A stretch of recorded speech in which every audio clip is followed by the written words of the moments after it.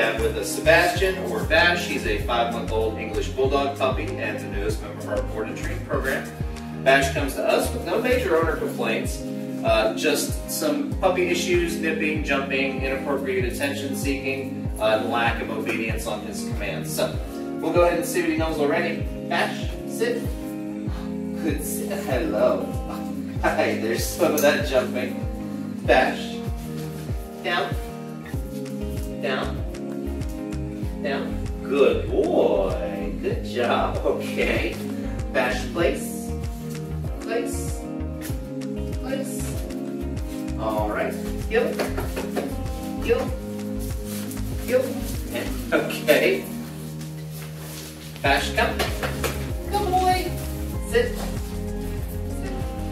All right, there's some more of the jumping. So as you can see, he's got an idea of a few of the basics. But that's all right. We'll go ahead and get started today and check back with you in two weeks for his update. Thanks. Bye. Break. Good boy. Good boy. Bash, down. Good boy.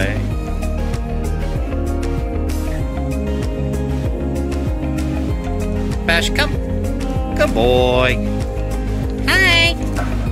Good fella the buddy.